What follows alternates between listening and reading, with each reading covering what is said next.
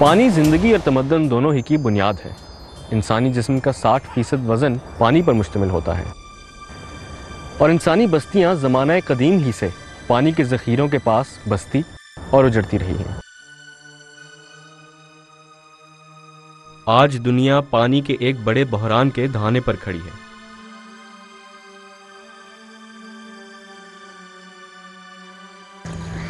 पाकिस्तान को कुदरत ने पानी के बेपनाह वसाइल से नवाज़ रखा है। लेकिन बदकस्मती से हम इन वसाइल के दानिशमंदाना इस्तेमाल और तहफ़ में नाकाम रहे हैं। वजारत माहौलियात के एक तखमीने के मुताबिक उन्नीस सौ इक्यावन में हर पाकिस्तानी को औसतन 5,300 क्यूबिक मीटर पानी दस्तियाब था। लेकिन आबादी में इजाफे के बायस आज ये शरह कम होकर सिर्फ़ 1,105 क्यूबिक मीटर तक आ पहुँची है। याद रहे कि जिन ममालिक में पानी की फीकस दस्तियाबी 1,000 क्यूबिक मीटर से कम है उन्हें पानी की कमी का शिकार समझा जाता है।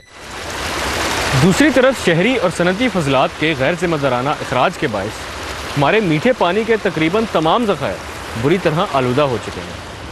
यही फजलात आखिरकार समंदर तक पहुँचते हैं और हमारे साहिली पानियों की मछली की पैदावार में कमी का बायस बनते हैं।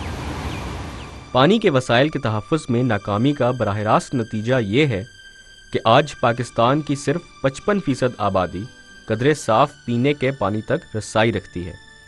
और ये पानी भी आलूदगी के बायस आलमी इदारे सेहत के मुकर करदा मैार पर पूरा नहीं उतरता। इन हालात का तकाजा है कि पानी के वसाइल के तहफ़ के लिए हंगामी बुनियादों पर काम किया जाए।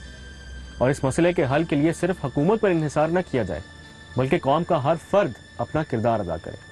क्योंकि पानी को आलूदगी से बचाना और इसके गैर ज़रूरी इस्तेमाल और ज़िया को रोकना हम सब के हाथ में है। आप इस सिलसिले में क्या कर सकते हैं?